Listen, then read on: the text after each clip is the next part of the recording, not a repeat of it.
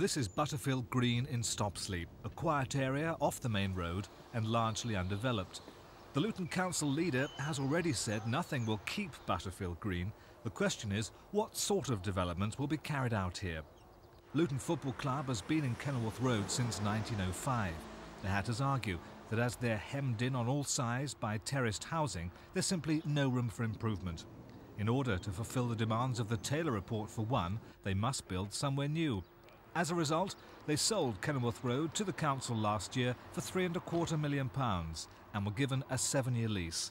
Stopsley, they say, is the only hope. Wherever we go, residents will be inconvenienced. What we feel is that a modern sports and leisure facility at Stopsley, built on the regional sports centre, which already exists, is the ideal opportunity for the club and for the borough. Some residents will be inconvenienced. We can do nothing about that.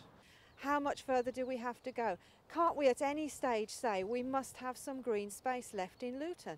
You've just got to try and encourage as many people as you can to uh, gang up together and, and try and oppose it as much as possible, really. It's a natural beauty. Let's leave it alone for the future generation. We owe it to them.